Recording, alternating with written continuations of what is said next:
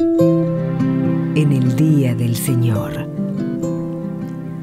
Para usted, para los que viven lejos de un templo, los que están enfermos, presos o imposibilitados de participar de la celebración de la misa, Canal Orbe 21 presenta Nuestra Misa.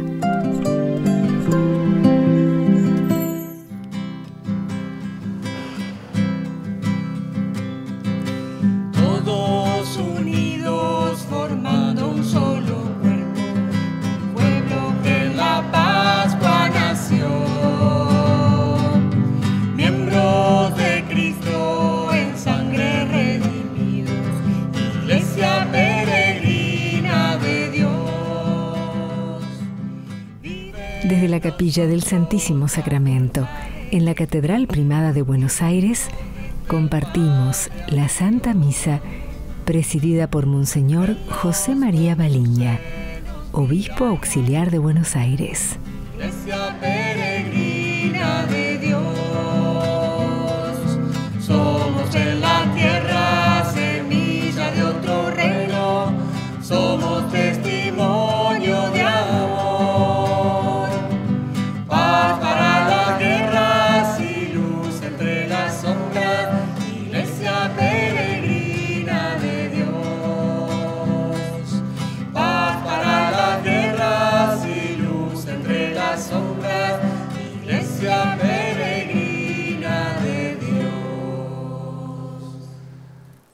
En el nombre del Padre, del Hijo y del Espíritu Santo.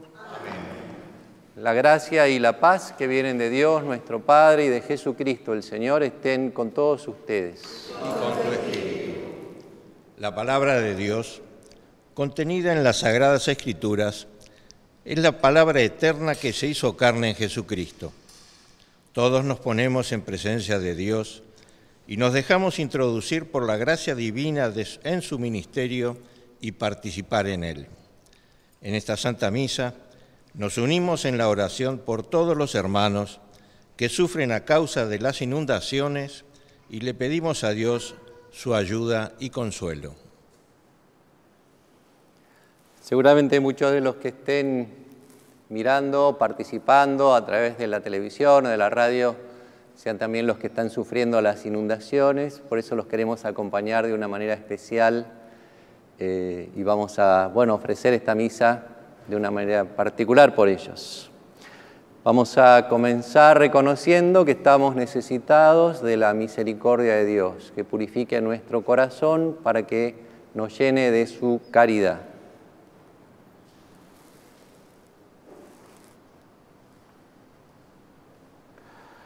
Tú que eres el camino que conduce al Padre, Señor, ten piedad. Señor, ten piedad. Tú que eres la verdad que ilumina a los pueblos. Cristo, ten piedad. Cristo, ten piedad. Tú que eres la vida que renueva el mundo. Señor, ten piedad. Señor, ten Dios Todopoderoso tiene misericordia de nosotros, perdona nuestros pecados y nos lleva a la vida eterna. Amén. Lo alabamos con el gloria.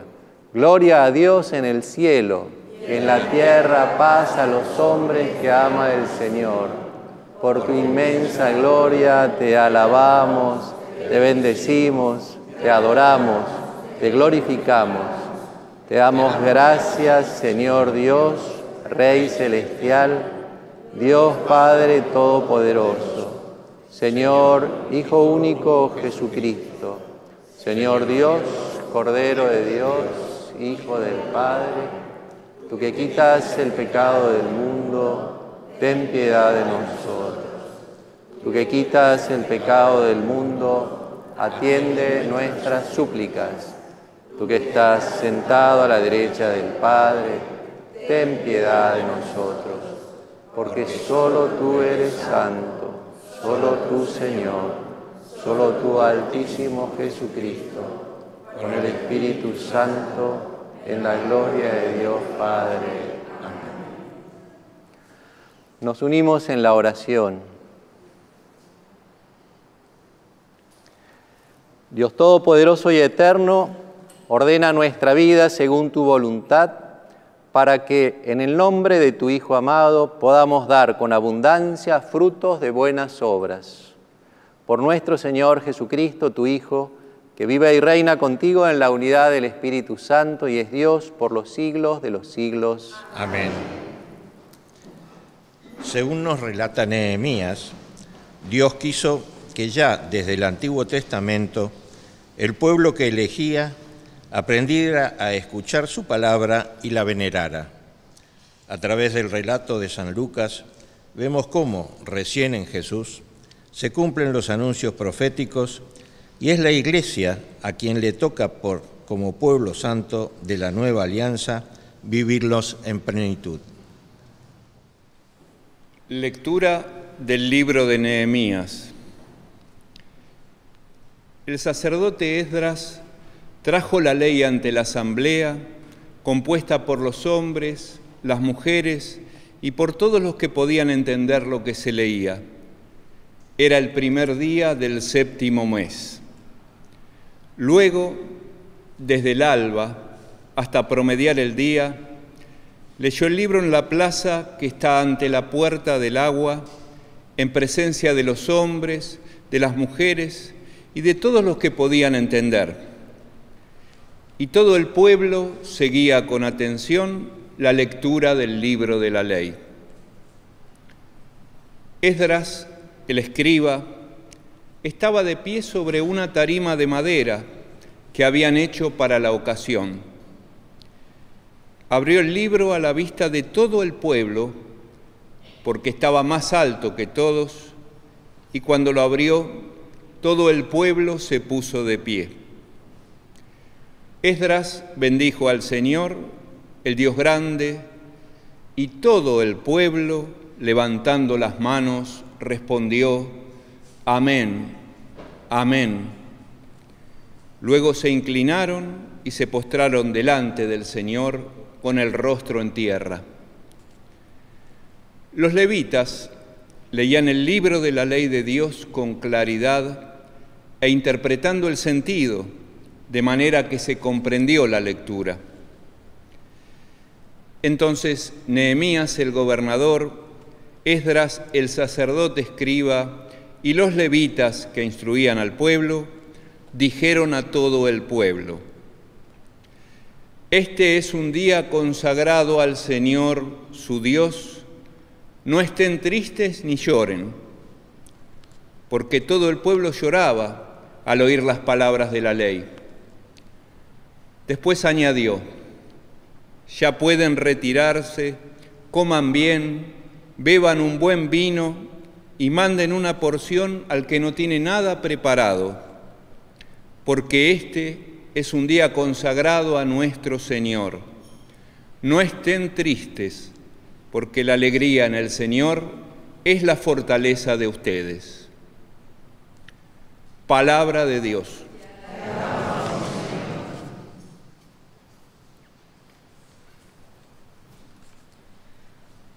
Tus palabras, Señor, son espíritu y vida.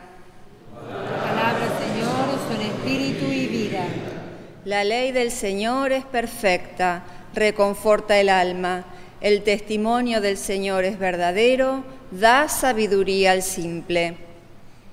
Tu palabra, Señor, es Los preceptos del Señor son rectos, alegran el corazón.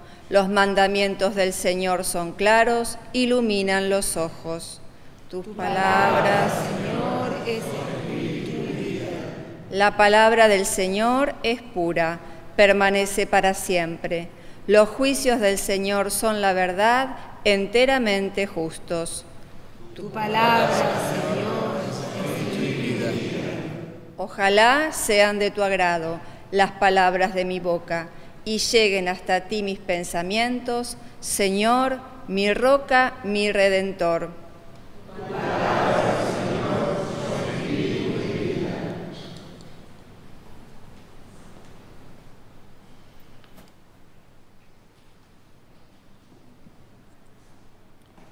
Lectura de la primera carta del apóstol San Pablo a los cristianos de Corinto.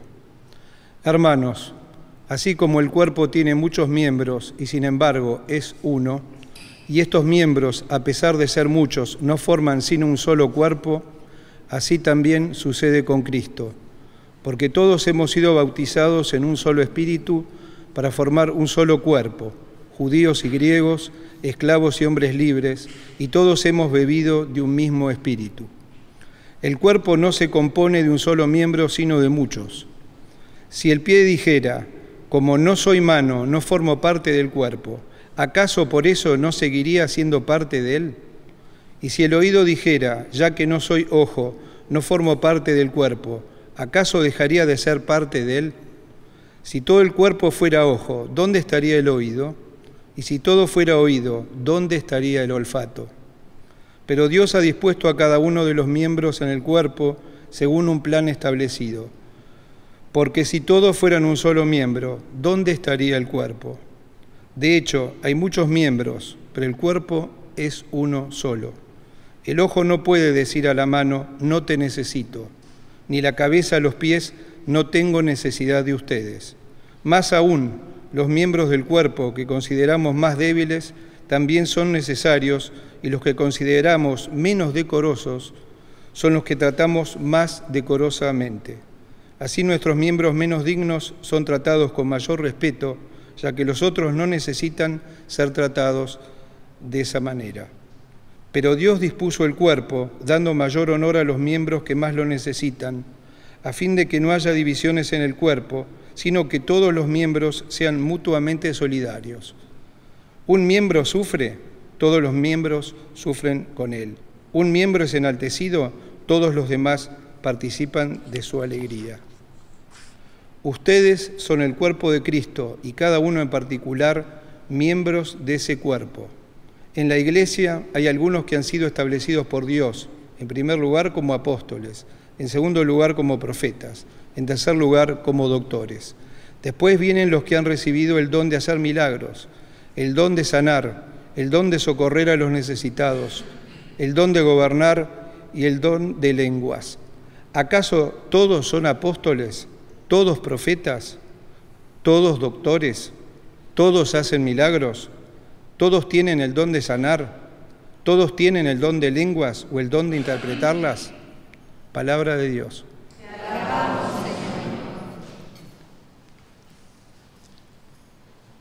Puestos de pie, cantamos con alegría el aleluya, aclamando a que Cristo, el Señor, que nos habla a cada uno.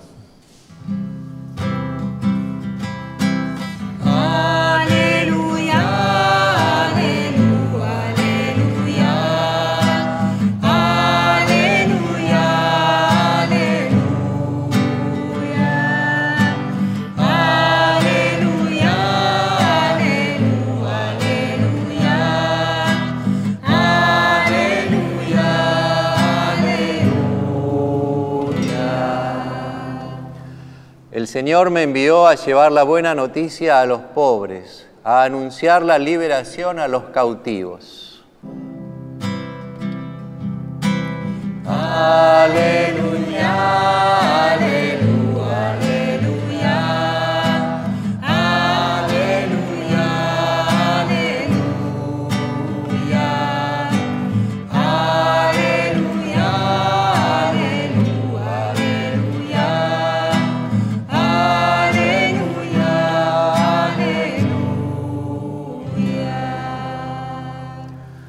Que el Señor esté con ustedes. Evangelio de nuestro Señor Jesucristo según San Lucas. Muchos han tratado de relatar ordenadamente los acontecimientos que se cumplieron entre nosotros, tal como nos fueron transmitidos por aquellos que han sido desde el comienzo testigos oculares y servidores de la palabra. Por eso, después de informarme cuidadosamente de todo desde los orígenes, yo también he decidido escribir para ti, excelentísimo Teófilo, un relato ordenado a fin de que conozcas bien la solidez de las enseñanzas que has recibido. Jesús volvió a Galilea con el poder del Espíritu y su fama se extendió en toda la región. Enseñaba en las sinagogas de ellos y todos lo alababan. Jesús fue a Nazaret donde se había criado. El sábado entró como de costumbre en la sinagoga y se levantó para hacer la lectura. Le presentaron el libro del profeta Isaías y abriéndolo encontró el pasaje donde estaba escrito, el Espíritu del Señor está sobre mí porque me ha consagrado por la unción. Él me envió a llevar la buena noticia a los pobres, a anunciar la liberación a los cautivos y la vista a los ciegos, a dar la libertad a los oprimidos y proclamar un año de gracia del Señor. Jesús cerró el libro, lo devolvió al ayudante y se sentó. Todos en la sinagoga tenían los ojos fijos en él. Entonces comenzó a decirles, hoy se ha cumplido este pasaje de la escritura que acaban de oír. Palabra del Señor.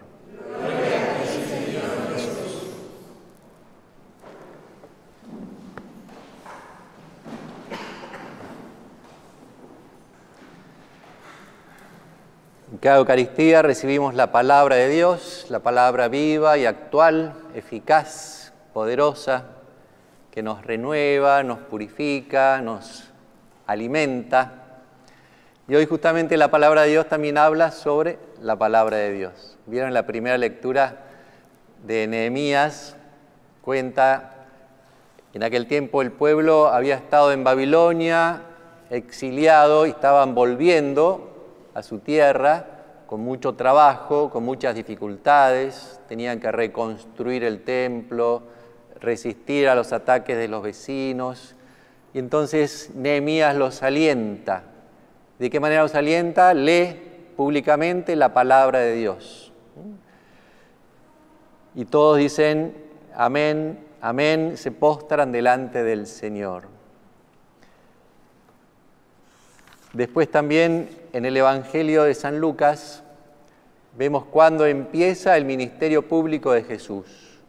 Empieza leyendo la palabra de Dios del profeta Isaías. El Señor me ha enviado a sanar los corazones heridos, el Señor me ha enviado a anunciar la buena noticia a los pobres, la vista a los ciegos. Como dice Jesús, esto que decía el profeta Isaías se cumple hoy, ¿eh? se está cumpliendo en mi persona. Jesús cumple esa profecía antigua, ocho siglos antes, el profeta Isaías, se realiza en Él, porque Él es el que viene a anunciarnos a todos los que estamos necesitados, la buena noticia, la liberación. Fíjense que dice, el Señor me ha consagrado por la unción. Y de esta unción, eh, con el aceite consagrado, todos los bautizados participamos, todos en el bautismo recibimos la unción con este santo crisma eh, que recibimos y nos queda marcados. Y entonces estamos unidos a Jesús, al ungido con mayúscula, también nosotros somos con Él ungidos.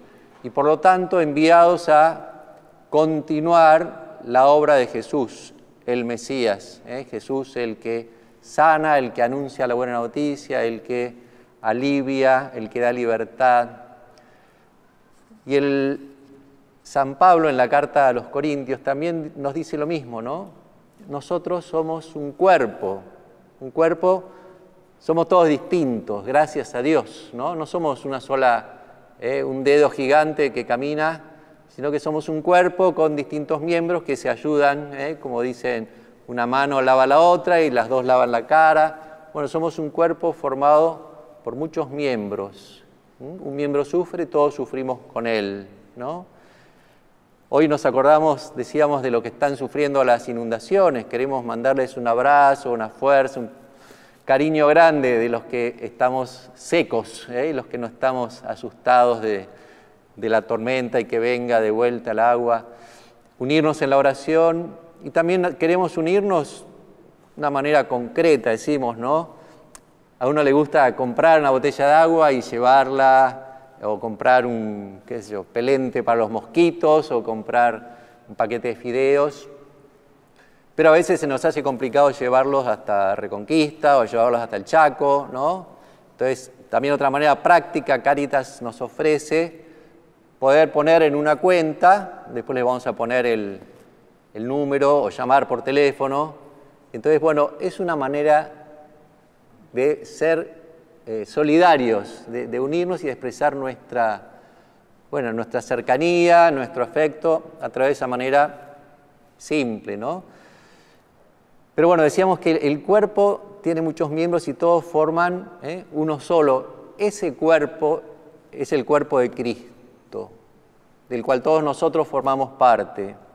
Y entonces, qué lindo podemos descubrir que formamos parte de ese Jesús que sigue anunciando la buena noticia. ¿Cuánta gente está esperando una buena noticia? Eh? ¿Cuántas, ¿Cuántas buenas noticias encontramos en el diario?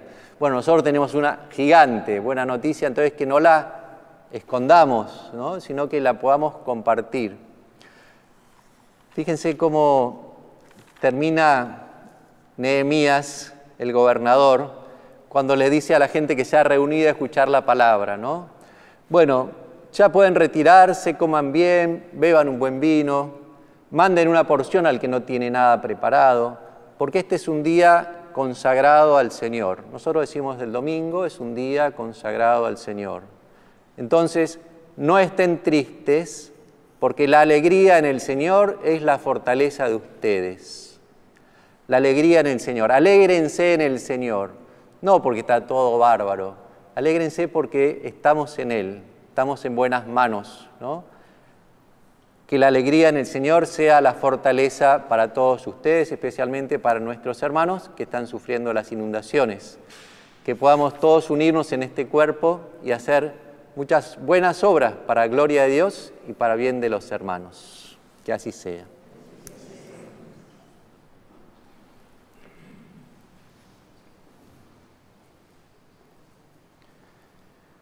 Vamos a unirnos a confesar nuestra fe común rezando el credo. Creo en Dios, Padre Todopoderoso, Creador del cielo y de la tierra. Creo en Jesucristo, su único Hijo, nuestro Señor, que fue concebido por obra y gracia del Espíritu Santo. Nació de Santa María Virgen, padeció bajo el poder de Poncio Pilato fue crucificado, muerto y sepultado, descendió a los infiernos, al tercer día resucitó entre los muertos, subió a los cielos, está sentado a la derecha de Dios Padre Todopoderoso. Desde allí ha de venir a juzgar a los vivos y a los muertos. Creo en el Espíritu Santo, la Santa Iglesia Católica, la comunión de los santos, el perdón de los pecados la resurrección de la carne y la vida eterna. Amén. Con mucha confianza presentémosle al Señor nuestras necesidades. A cada oración respondemos, escucha Señor la oración de tu pueblo, por quienes han recibido en la Iglesia el encargo de predicar la palabra de Dios para que sepan anunciarla con fervor, iluminando la vida de los creyentes. Oremos. Escucha, Señor, la oración de tu pueblo. Por todos los hombres y mujeres del mundo, para que se reconozcan miembros de una misma familia de Dios y cesen las guerras, especialmente las cruentas persecuciones religiosas en Medio Oriente. Oremos. Escucha, Señor, la oración de tu pueblo. Por las familias cristianas, para que vean unidas con amor sincero y abiertas a las necesidades espirituales y materiales de los demás. Oremos. Escucha, Señor, la oración de tu pueblo. Por los enfermos, los desamparados, los que están tristes y abandonados, para que encuentren en nosotros el reflejo del Padre Celestial. Oremos. Escucha, Señor, la oración de tu pueblo.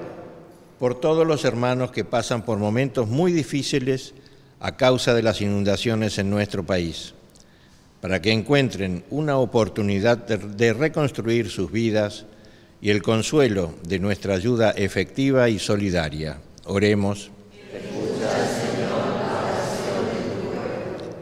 Por todos los que unidos por medios de la radio, la televisión y las redes sociales, alabamos al Señor para que escuchando la llamada de la Iglesia a vivir en la misericordia, estemos siempre dispuestos a hacer lo que Jesús nos dice.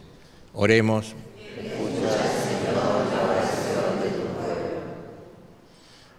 Recibe, Padre bueno, nuestras oraciones, también las que tenemos en el silencio del corazón, por Jesucristo nuestro Señor. Amén.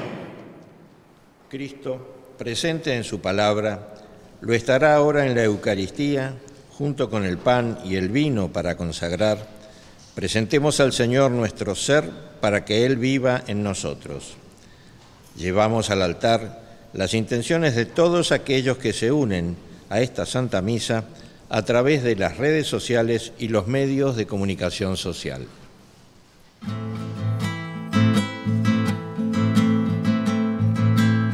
Señor, que nuestra vida sea como una quena simple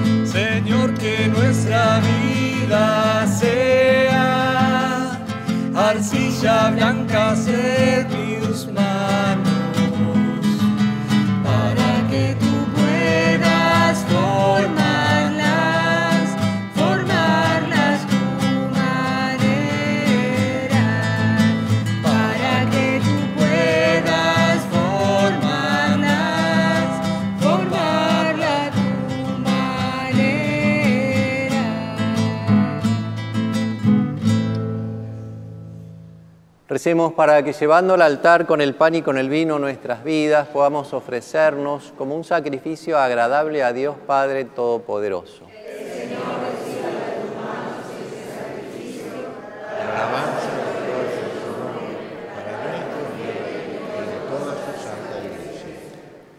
Oremos. Recibe con bondad nuestros dones, Señor, y al santificarlos, haz que se conviertan en causa de salvación para nosotros, por Jesucristo nuestro Señor. Amén. Que el Señor esté con ustedes. Y con tu espíritu. Levantemos el corazón. Lo tenemos levantado hacia el Señor. Demos gracias al Señor nuestro Dios. Es justo y necesario. En verdad es justo darte gracias y es deber nuestro alabarte, Padre Santo, Dios Todopoderoso y Eterno, en todos los momentos y circunstancias de la vida, en la salud y en la enfermedad, en el sufrimiento y en el gozo, por tu servidor Jesús, nuestro Redentor. Porque Él con su vida terrena pasó haciendo el bien y curando a los oprimidos por el mal. También hoy, como buen samaritano, se acerca a todo el que sufre en su cuerpo y en su espíritu y cura sus heridas con el aceite del consuelo y el vino de la esperanza. Por este don de tu gracia, incluso cuando nos vemos sumergidos en la noche del dolor, vislumbramos la luz de la Pascua en tu Hijo muerto y resucitado. Por eso nos unimos a los ángeles y a los santos. Cantamos a una voz el himno de tu gloria.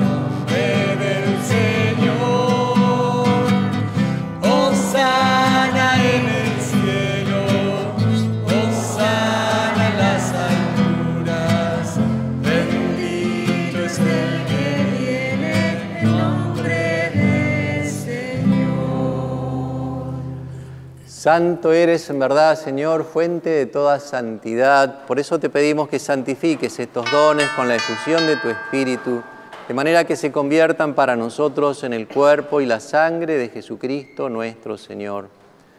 El mismo, cuando iba a ser entregado a su pasión voluntariamente aceptada, tomó pan. Dándote gracias, lo partió y lo dio a sus discípulos, diciendo, tomen y coman todos de él, porque esto es mi cuerpo que será entregado por ustedes.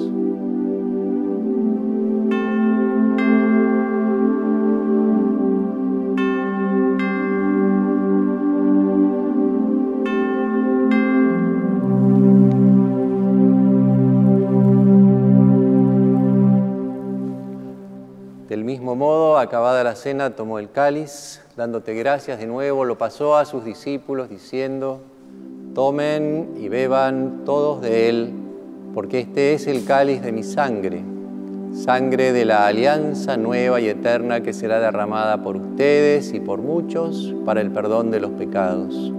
Hagan esto en conmemoración mía.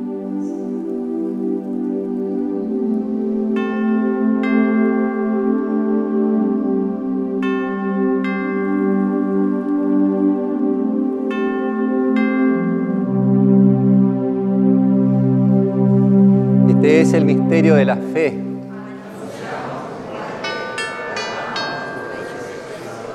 Ven, Señor Jesús. Así, Padre, al celebrar ahora el memorial de la muerte y la resurrección de tu Hijo, te ofrecemos el pan de vida y el cáliz de salvación y te damos gracias porque nos haces dignos de servirte en tu presencia. Te pedimos humildemente que el Espíritu Santo congregue en la unidad a cuantos participamos del cuerpo y de la sangre de Cristo. Acuérdate, Señor, de tu iglesia extendida por toda la tierra, con el Papa Francisco, nuestro arzobispo, el cardenal Mario, nosotros, sus obispos auxiliares y todos los que cuidan de tu pueblo. Llévala a su perfección por la práctica de la caridad. Acuérdate de nuestros hermanos que se durmieron con la esperanza de la resurrección. En este fin de semana se cumplen dos años del fallecimiento del padre Alberto Balsa, que estuvo tanto tiempo celebrando aquí. Te pedimos especialmente por él, por todos los que han muerto en tu misericordia, admítelos a contemplar la luz de tu rostro. Ten misericordia de todos nosotros, especialmente de los que están más afligidos y necesitados. Y así con María la Virgen, Madre de Dios, su esposo San José, los apóstoles, los santos y cuantos vivieron en tu amistad a través de los tiempos, merezcamos por tu Hijo Jesucristo compartir la vida eterna y cantar tus alabanzas. Por Cristo, con Él y en Él, a ti, Dios Padre Omnipotente, en la unidad del Espíritu Santo, todo honor y toda gloria por los siglos de los siglos. Amén. El Espíritu que descendió sobre Jesús también desciende sobre nosotros. Hemos recibido ese regalo que nos permite llamar a Dios Abba, papá. Vamos a unirnos todos como hijos queridos, poniéndonos en las manos del Padre. Padre nuestro que estás en el cielo, santificado sea tu nombre. Venga a nosotros tu reino.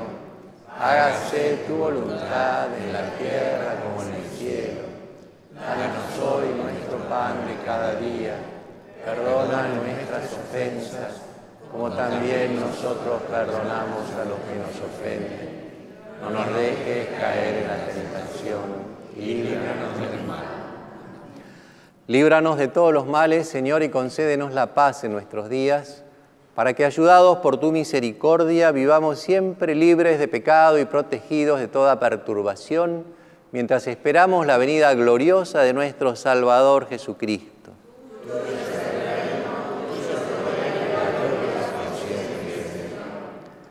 Señor Jesús, que dijiste a tus apóstoles, les dejo la paz, les doy mi paz. No tengas en cuenta nuestros pecados, sino la fe de tu iglesia. Según tu palabra, concedenos la paz y la unidad, vos que vivís y reinás por los siglos de los siglos. Amén.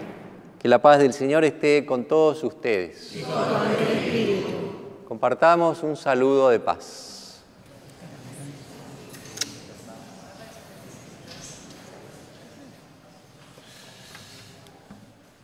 Cordero de Dios, que quitas el pecado del mundo, ten piedad de nosotros. Cordero de Dios, que quitas el pecado del mundo, ten piedad de nosotros. Cordero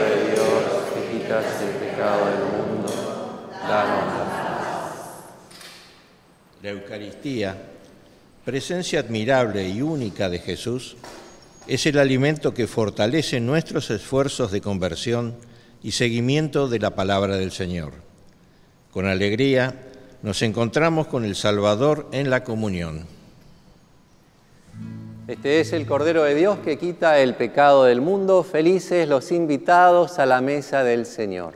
Señor, yo no soy digno de que entres en mi casa, pero una palabra tuya bastará para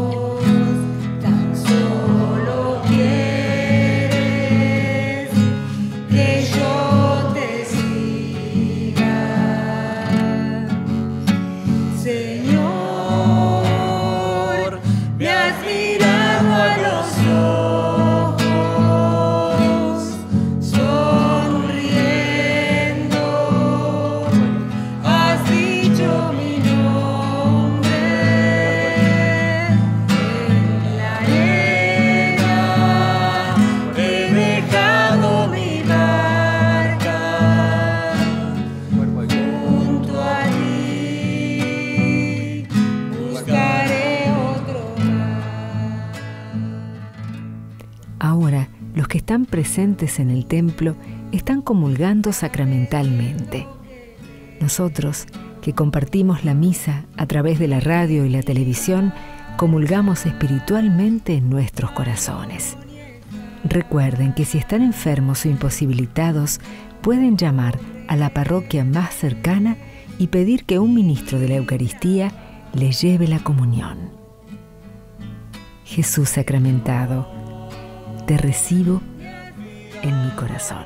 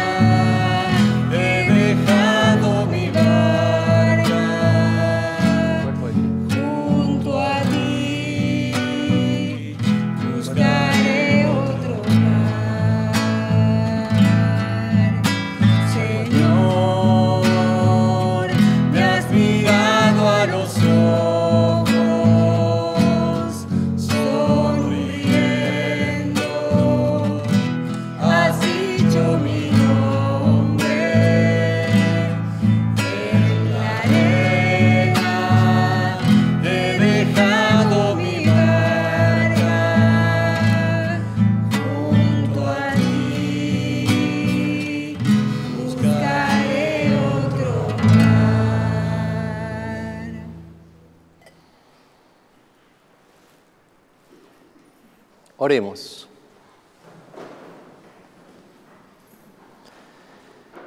Dios Todopoderoso, concédenos a los que somos vivificados por tu gracia, alegrarnos siempre con el don recibido por Jesucristo nuestro Señor. Amén. Vamos a rezar una Ave María por todos nuestros hermanos que están afligidos por las inundaciones y por distintas circunstancias. Y también les volvemos a pasar el, número de teléfono de Cáritas que todos conocen, el, el bien que hace en todo el país, para que a través de ellos, los que no puedan de otra manera, puedan acercar su ayuda. Dios te salve María, llena eres de gracia, el Señor es contigo, bendita tú eres entre todas las mujeres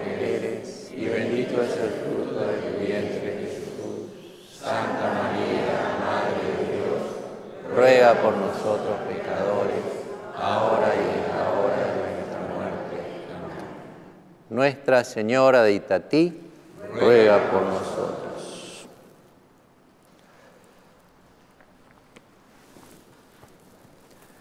Que el Señor esté con ustedes. Y con tu espíritu. Descienda sobre ustedes, sobre sus familias y comunidades, la bendición de Dios Todopoderoso, Padre, Hijo y Espíritu Santo. Amén. Como decía Nehemías, la alegría en el Señor es nuestra fortaleza. Vayamos en paz. Demos gracias a Dios.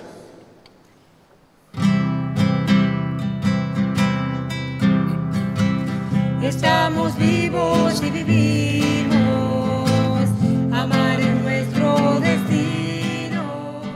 Desde la capilla del Santísimo Sacramento, en la Catedral Primada de Buenos Aires, compartimos la Santa Misa presidida por Monseñor José María Baliña, Obispo Auxiliar de Buenos Aires. Solo.